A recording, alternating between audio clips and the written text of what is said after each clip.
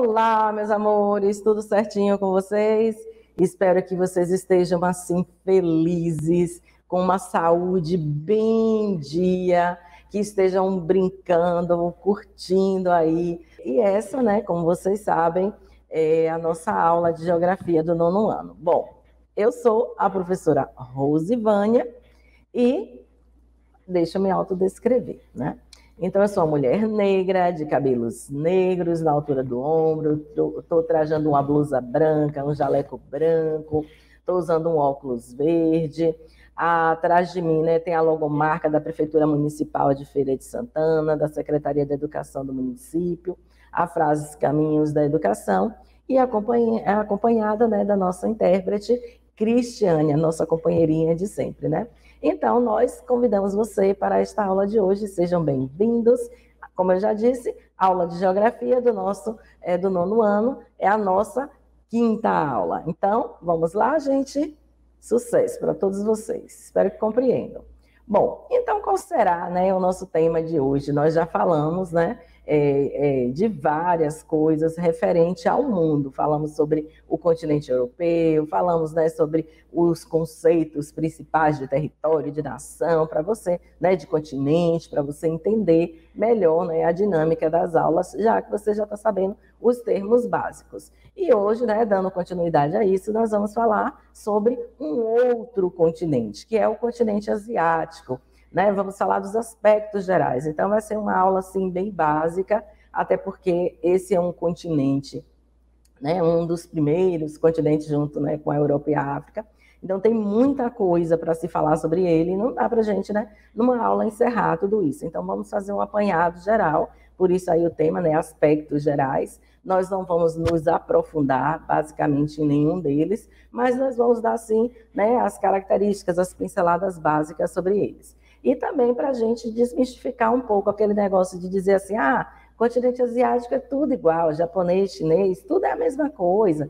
Então nós vamos entender que na é que é, no continente asiático isso não é bem verdade, né? Nós temos vários conjuntos de pessoas com características, até semelhanças físicas, né? Totalmente, né? Destoando uma da outra, né? Não é, totalmente igual, como a gente acha. Ah, o japonês e, é, e chinês é tudo a mesma coisa, tudo a mesma cara. Na realidade, não são, né, nem na aparência, nem nos aspectos culturais, da história de modo geral, e nem também no espaço geográfico é a mesma coisa. E eu espero que você, no final da aula, você compreenda, né, um pouco sobre isso, até porque estamos falando de um continente no qual nós vamos, né, ter áreas bastante geladas, áreas bem baixas, áreas com temperaturas bem quentes, áreas até com é, presença de neves eternas, assim também como áreas de desertos, até um deserto gelado, né, que é diferente né, do que a gente está acostumado a ver. Normalmente os desertos, as temperaturas são bastante elevadas. É, vamos estar falando também né, de diversos tipos de religião, só para a gente entender assim mais ou menos. A gente né, tem é, praticamente todas as religiões que tem no mundo, você vai encontrar aí. Tem o cristianismo, tem o islamismo. Olha, a gente falando né, do tempo todo, assim, né, dos povos com características mais orientais, bora dizer assim. A gente também tem é, relacionada ao judaísmo, né, e várias outras religiões. Então, esse continente, ele, a palavra, né, que representa esse continente é a diversidade, diversidade de tudo, né, de espaço geográfico, de aspectos culturais, de população. Então, nós temos aí, né, até países, né, que estão em mais de um continente, né, que são chamados países transcontinental é, continental, que é exemplo né, da própria Rússia, né, que começa na Europa e, e termina né, na Ásia, né, praticamente a maior parte né, do seu território, praticamente não, a maior parte do seu território está na Ásia, e assim também a gente tem outros países que começam na Europa e terminam na Ásia ali o seu, ou começa na, né, na Ásia e termina na Europa, né, vai, a ordem não vai alterar isso. Então, são muitas coisas, muitas mesmo, e se você tiver essa curiosidade de começar a ler né, sobre a cultura ou qualquer aspecto mesmo que você escolhe da, da Ásia, você vai ver que é muita coisa, mesmo que você fosse falar apenas de um dos aspectos, né? Ou seja ele físico, ou cultural, ou econômico, você tinha muita coisa para dizer. Só para a gente ter uma ideia né, de econômico, a gente tem a China, que é uma das maiores economias mundiais, né? Ela está ali, né, pareado junto com os Estados Unidos. Então, sejam bem-vindos para a nossa aula de hoje e vamos lá, né? Primeira coisa, né, que a gente deve entender, que eu sempre chamo a atenção, toda vez quando eu trabalho com continentes, se você observar lá na nossa aula da Europa, você vai encontrar o nosso mapa mundi da divisão continental. Aí vocês já sabem, né, já estão craques, que são seis continentes, né? O continente americano, a Europa, a Ásia, a África, a Oceania e a Antártida, né, o nosso continente gelado. Nós já falamos sobre a Europa, e agora nós vamos falar sobre essa parte aqui, ó, destacadinha aqui de amarela, né, que é o continente asiático. Como você pode perceber, né, olha a extensão desse continente. E vejam também que ele não é, né, assim, de terras, né, separadas, ou seja, né, porções de terras banhadas pelo oceano, e que dá essa característica né, de continente, o conceito de continente, como também ocorre aqui né, com a África. No caso da Ásia, né, ela forma a Eurásia, que é a junção da Europa com a Ásia. A gente não tem aqui ó, um oceano separando a gente aqui nesse lugar. Nós temos um acidente geográfico chamado os Montes Urais, como a Pro já falou lá no continente europeu, quando a gente deu aula. Então, nós vamos estar falando desse pedacinho aqui do mundo, que nada mais é do que o maior pedaço, ou seja, é o maior continente que existe, né? a maior extensão de terras que a gente vai encontrar no planeta. Depois, né, tem o continente americano, mas o maior mesmo é a Ásia, né? Então, vamos lá. É, só para a gente perceber aqui, ela né, banhada ao norte pelo Oceano Glacial Ártico, ao sul, a gente tem aqui uma parte, né, o Oceano Pacífico e o Oceano Índico especificamente. Aqui a gente tem a leste, né, o Oceano Pacífico, e a oeste nós temos, né, a, a nível de limite, nós temos a Europa, nós temos aqui os mares, né, é, tanto o Cáspio como o Mar Mediterrâneo, nós temos aqui, né, o, o Mar Vermelho, e assim a gente tem essa divisãozinha aqui, né, separando a Europa da Ásia e separando a, é a Ásia da África. Então, esse aqui é o continente que nós vamos falar hoje. Vamos lá? Então, vamos começar com as características bem básicas, né? Aqui já está essa divisão política, né? Você sabe que esse é um mapa político. O que, que faz para esse mapa ser político? É porque ele tem a divisão dos países, né? Que são os países que compõem o continente asiático, e ela é formada por 45 países, né? É, como eu já citei, vocês perceberam lá no mapa, a Ásia é o maior dos continentes, tanto em área como em população. Isso a Pro não falou. Só para você ter uma ideia, dois países, que no caso a China e a Índia, eles vão, é, vão abrigar aí né, no seu espaço mais de um bilhão de habitantes, né? Os dois, todos os dois têm mais de um bilhão. Um é 1 bilhão e 400 milhões de habitantes e o outro é 1 bilhão e quase 400 milhões de habitantes, que no caso é a Índia. Então, o que tem atualmente a maior população é a China e logo em seguida vem a Índia. Mas acredita-se que com todo esse controle, a natalidade, né, é, que vem sendo feito na China, agora está até tentando estimular, do tanto que o pessoal assimilou essa ideia, a Índia vem a passar a China no número de habitantes. Mas o continente inteirinho, ele vai ter mais de 4 bilhões de habitantes. Você sabe que nós temos pouco mais do que 7 bilhões de habitantes e mais de 50% da população mundial você vai encontrar aqui neste continente. Então, é muita gente, né? Nós vamos ver mais adiante, falando aqui que essa distribuição, ela não é igual, ela é irregular. Só pelo fato de você ter a China e a Índia, né, com 2 bilhões e 800 milhões, né, somando os dois, quase 2 bilhões e 800 milhões de habitantes dos quatro, esses dois países já ficam com quase 3 bilhões dos habitantes daí dessa região. Então, é muita gente. E a gente vai ver mais adiante também, não vou né, matar muito essa curiosidade, que a geografia aqui vai botar muitas áreas elevadas, as montanhas. Então, esse povo ele vai estar mais concentrado, mesmo tendo a maior população, ele ainda não está distribuído igualzinho, né? Aí. Então, a gente vai estar um pouquinho aqui espremidinha em meio à cordilheira do Himalaia, né? E aqui a Rússia, mesmo sendo, né, porque ele tem três terços do, do três terços, não, desculpe, né? É, três quartos do seu território, né, pertencente ao continente asiático. Ele tem um, um número de habitantes considerável, mas ainda nem arranha o número que a gente vai ter na China e que a gente vai ter na Índia, né? Então, a nível de extensão, né, 45 milhões de quilômetros quadrados, um terço das terras do planeta. Então, nós estamos falando de um continente de dimensões, né, bora dizer assim, de grandes dimensões. Grandes dimensões em extensão territorial, grandes dimensões até na quantidade de fuso horários, grandes dimensões no número da população.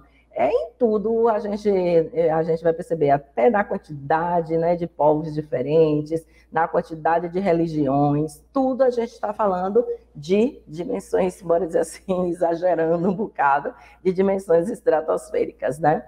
Então, a Ásia faz fronteira com três continentes, isso mesmo, três continentes, o continente europeu, o continente africano e aqui do ladinho que não dá para ver, o continente americano, né? Ele é mais precisamente ligado ao Canadá, né? Então, na realidade, ele também tem essa particularidade, né? Que nenhum outro continente tem, bora dizer assim, limite com três outros continentes, né? Ele também tem essa característica aí para ele. Até nos limites eles também são, né? Potência na quantidade. Então vamos lá, né? A nível dos aspectos físicos, como eu falei para vocês, faz parte da Eurásia, que é essa ligação né, da Europa com a Ásia, que é o único bloco né, de terras. Então eu tenho aqui um, um acidente geográfico e alguns mares né, que separam a Ásia né, da Europa. Aqui nós temos os Montes Urais. Então, analisando esse mapa né, é, altimétrico, já a Pro já falou né, em vários outros mapas, quando a gente estudou isso, que o mapa altimétrico ele tem essa característica da altura. Então, quanto mais claro as, as cores são no mapa, mais baixos os terrenos, e quanto mais escuro, mais altos os terrenos. Então, o que, que a gente tem aqui? Ó? No centro, praticamente, né, cortando, dividindo a porção norte né, da porção sul do continente asiático, nós temos aqui essas cadeias de montanhas aqui, né, que é a cordilheira do Himalaia, né, onde a gente tem o Monte Everest com mais de 8.800 metros né, de altitude. Então, é o teto do mundo, bora dizer, né? É o mais alto que a gente pode subir pertinho lá do céu. A gente encontra aqui nessa região. E o que, que eu tenho aqui, né? Por que, que a gente tem isso aqui? Eu não sei se você já ouviu falar né, de, é, de, de um negocinho chamado Círculo de Fogo do Pacífico ou seja, é a área de maior instabilidade tectônica né, do planeta. Então, é nessa região aqui, e essa área do Círculo de Fogo, ela está representando as áreas de vulcões ativos, as áreas que têm os terremotos, bora dizer assim, né, de proporções maiores, as áreas dos encontros, né, das placas tectônicas que vão gerar, né, esses terremotos e até mesmo esses processos, né, de vulcanismo, e formando também essas cadeias de montanhas. As mais escuras também representam as cadeias mais jovens, que foram menos desgastadas. Então, essa formação aqui desses dobramentos, que a gente chama né, de dobramentos modernos, essas, essas cadeias de montanhas, elas aqui geram uma grande estabilidade aqui nessa região. Só para você ter uma ideia, que o Japão ele é formado né, por quatro, bora dizer assim, arquipélagos principais, que são várias ilhas, né? Mas a gente tem quatro principais e elas são quase todas vulcânicas e com vulcões ainda ativos, né? Então, é uma área de grande instabilidade. Aqui na própria cordilheira do, do Himalaia, do Monte Everest, a gente percebe essa movimentação dessas placas tectônicas. Então, são áreas, né, geologicamente, bora dizer assim, instáveis. Elas ainda estão se acomodando, estão se movimentando. As placas estão né, se juntando, algumas estão deslizando. Então, é, a atividade tectônica aí é muito forte. Então, já tem uma variedade de vulcões ativos, uma variedade de tipos de terremotos, né? Então, a situação aqui é instável, esse terreno, ele ainda né, é jovem para o planeta Terra, para a gente né, é bem velho, mas para o planeta Terra é jovem, e sofre essas, ah, essas atividades aí o tempo todo, né? E sem falar que a gente tem aqui uma área bem fria, que a gente está falando aqui, né, do Círculo Glacial Ártico, né, do Polo Norte, e a gente vai pegar uma área bem quentinha aqui, que está próximo da linha do Equador. Então, as temperaturas, elas vão desde as mais extremas até as temperaturas também extremas, tanto para o frio quanto para o quente, né? É a grande cadeia de montanhas, já falei para vocês, né, que é a cadeia do Himalaia, essa parte aqui mais escurinha, onde a gente tem diversos planaltos também, né, aqui nessa região. Temos as áreas mais baixas, que é as áreas das planícies, né, aplainadas, que é onde a gente, no caso aqui, a gente vai ter mais gente mesmo ocupando essas áreas aqui e alguns baixos planaltos. E aqui no sul da Ásia, nós vamos ter esses espaços aqui, né, com a maior quantidade de população. Então, a população ela vai ficar bem quase que empurradinha assim, né, para a região do oceano. É, as planícies, como vocês perceberam, vão formar esse contraste, né? tem uma área bem alta e áreas mais baixas, e o uso intenso dos rios que provocou a poluição das águas. Eu, só para vocês perceberem aqui, né, nós temos vários rios, esses rios são de suma importância para a geração de energia, para a questão do transporte, a questão da irrigação, e como eles são muito utilizados, só para a gente ter uma ideia, aqui na Índia a gente tem o rio Ganges, né, que tem toda aquela fabricação de tecidos, que joga bastante é, materiais mesmo, com tintas, produtos químicos ali naquele rio. E o rio Ganges, eu não sei se vocês sabem, mas ele é considerado como um rio, né? É, assim, para a religião, ele é considerado um rio místico, né, mágico, um rio de suma importância, né, para eles. E aí o que é que acontece, né? é, essa poluição toda aí, mas eles acreditam mesmo que você se banhando, né, na, os indianos, né, eles acreditam que você se banhando aí nessas águas, né, do Rio Ganges, você vai ter toda uma purificação aí no seu corpo, né. Então a gente tem vários rios, né, o Yangtze, que é considerado também, né, um dos maiores do mundo, junto com o Rio Amazonas, com o Rio Tietê. A gente tem uma série de aspectos naturais aí e o fato né, deles estarem nessas áreas urbanas, com, né, nesses grandes aglomerados urbanos, infelizmente vem a atividade industrial, as atividades urbanas, e acabam provocando mesmo a poluição dessas águas. Bom, aqui, né, já que a gente está falando de águas, eu coloquei a maior usina hidrelétrica do mundo, que é a de Três Gargantas. Ela levou mais de 10 anos para ser construída a primeira parte, gente. Então, só para você perceber a dimensão que tem aí, né? Antes era Itaipu, aqui no Brasil, aí depois passou a ser a usina de Três Gargantas. Olha o lago, né, dessa, dessa represa. Então, essa represa, ela é a maior do mundo em área construída e área drenada.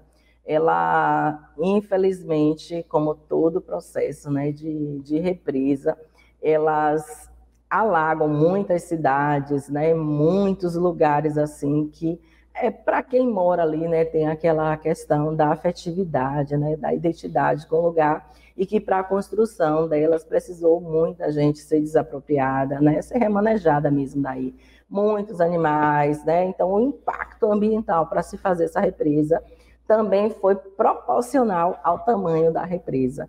E até hoje você sabe que no lugar onde se instala né, uma represa altera o clima do lugar, né, as pessoas têm que se adaptar de novo. Então é uma área bastante urbanizada e próxima. E o potencial dela inicialmente era só para conter mesmo a questão das enchentes, mas que depois ela se tornou né, uma grande produtora, né, geradora de energia. E ela é uma represa né, em um desses maiores rios que eu falei para vocês, o Yangtze. Né? Vamos dar continuidade aqui. Bom, então, nos aspectos físicos, como ela também né, tem a grande extensão, vocês estão vendo aqui, gente, não é porque quis colorir muito o mapa do clima, não, é porque realmente nós temos aí oito tipos climáticos, bora dizer assim, gerais, porque tem as particularidades, né? Você já sabe isso. A mesma coisa aqui, olha a quantidade né, de variedade de vegetação que a gente vai ver. E a gente, a prosinha sempre trabalha, né? Clima junto com vegetação porque os dois né, interferem. No lugar onde o clima ele é mais úmido, você vai ter uma vegetação mais exuberante, né? a formação de florestas, a formação de matas. E no lugar onde o clima ele é bastante seco, já vem aquela característica de deserto, de semiárido, né, com escassez de água, com plantas né, adaptadas a essa região, que são as plantas xerófilas, né, que elas se adaptam às áreas né, mais secas. Então, só para a gente entender, olha como a coisa ela vai casando, né? Eu tenho aqui os climas mais frios, eu também vou ter a vegetação aqui de tundra, vai acompanhando. Aqui na parte onde eu vou chegando, né, para o clima temperado, aí você já vai percebendo que vai aparecendo também as florestas temperadas, e assim sucessivamente, né? Então, quando a gente fala aqui de vegetação, a gente deve né, chamar a atenção que eu tenho desde aquela vegetação né, das áreas dos desertos, como a gente vai encontrar aqui no Oriente Médio, até aqui são as vegetações né, das áreas de clima bastante extremo mesmo na, nas altas temperaturas, até as vegetações né, de, é, de tundra, que é aquela dos líquens, dos musgos, aquela vegetação bastante incipiente, que só ocorre principalmente no período do verão, que é quando as temperaturas baixam um pouco. Não estou dizendo que elas vão ficar positivas, elas sempre vão ser é, temperaturas negativas, principalmente que estão dentro do círculo polar ártico, Aí depois você já vai né, para a vegetação de taiga, onde você vai ter os pinheirinhos.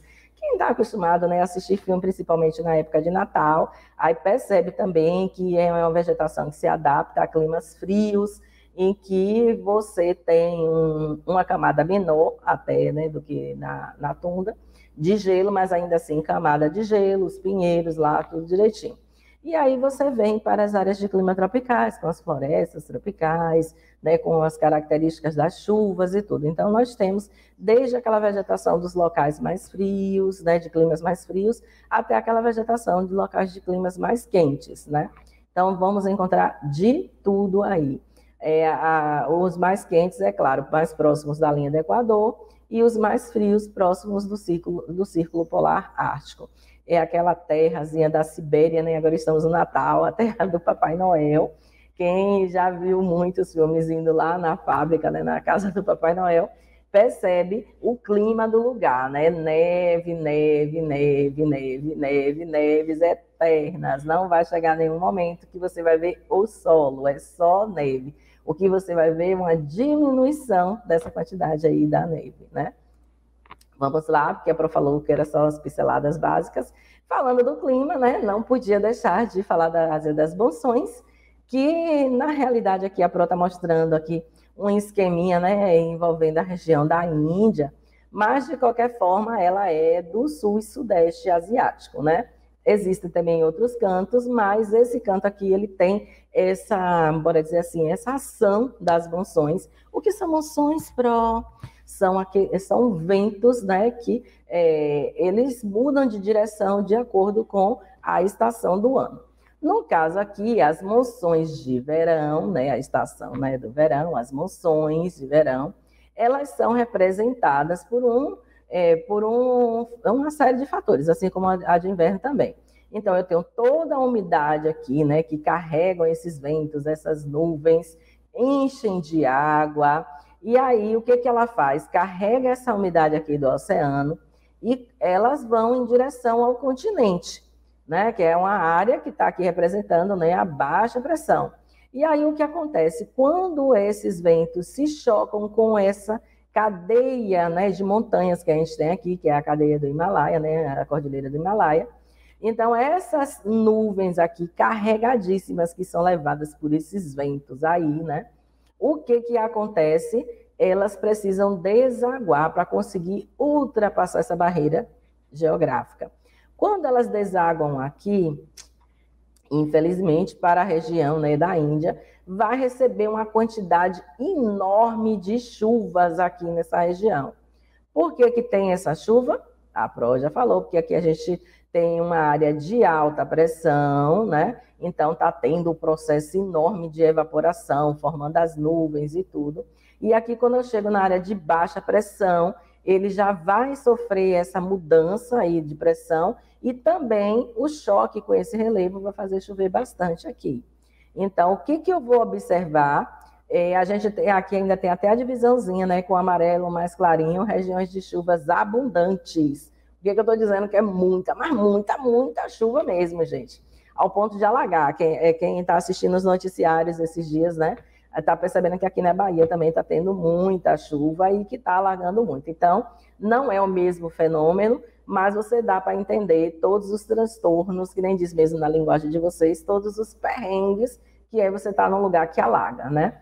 Região de chuvas médias. Então, eu tenho aqui essa partezinha aqui mais próximas né, do oceano, e vocês também viram lá no mapa, né?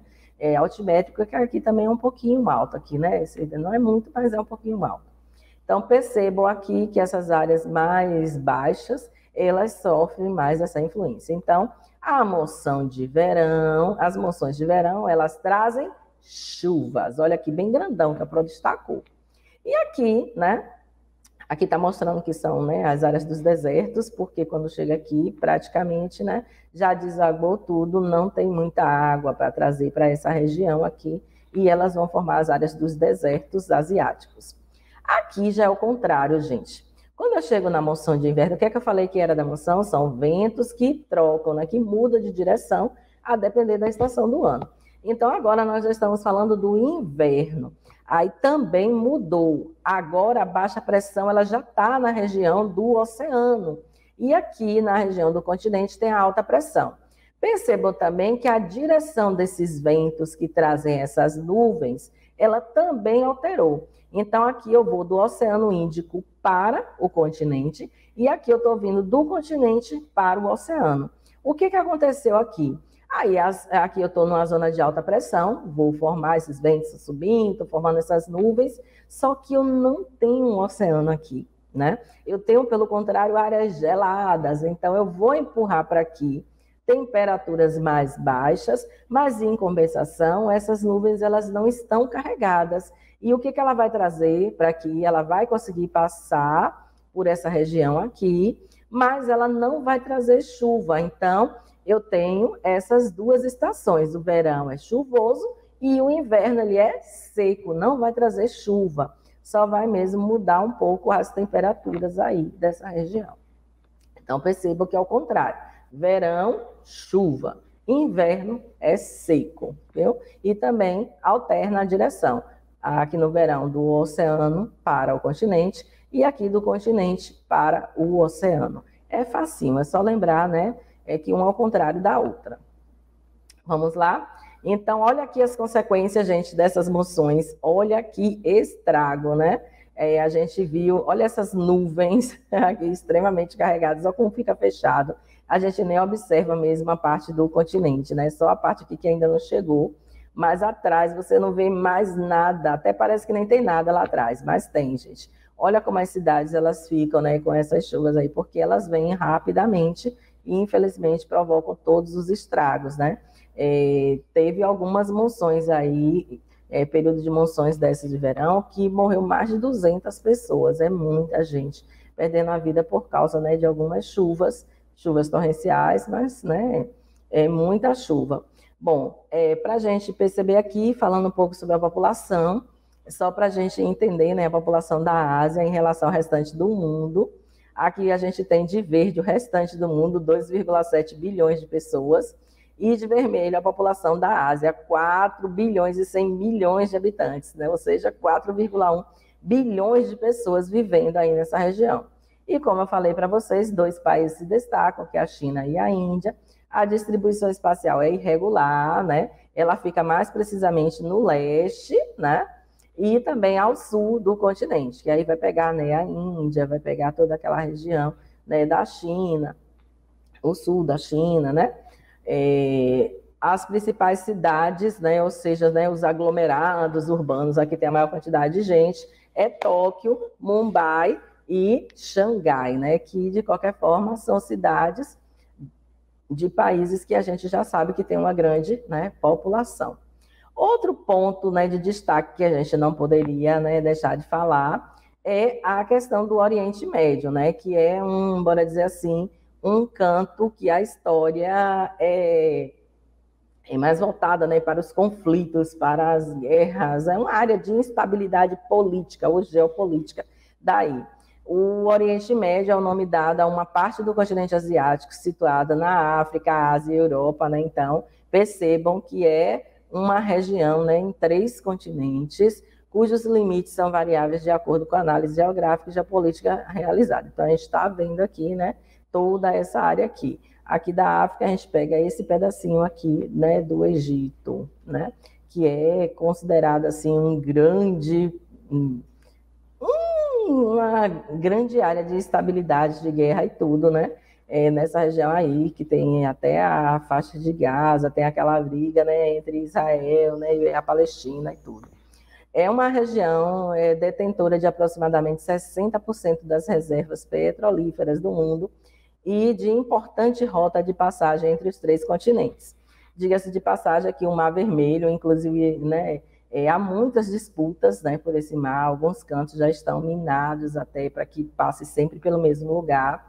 É, a gente sempre ouve nos noticiários né, essa questão da, das guerras, né, dos conflitos entre a, entre a Arábia Saudita e o Irã, o Iraque, né, e, e o Irã, e assim vai levando. Sempre a gente vê, né, ouve falar sobre a questão do Iraque. A gente ouve falar muito também sobre a questão das guerrilhas né, na Síria, onde muitas pessoas saem daí né, e vão para a Europa em busca de melhores condições de vida e fugir também né, dessa, desses conflitos.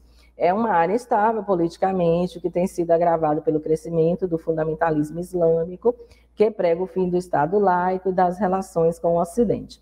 E sem falar também que tem todas essas questões envolvendo né, é, o poder feminino, né, que praticamente as mulheres elas não têm muitos direitos aí. Então, é, barram, cortam quase todos os direitos que as mulheres né, de, é, já têm né, no mundo todo. Então, aí é um pouco mais complicado.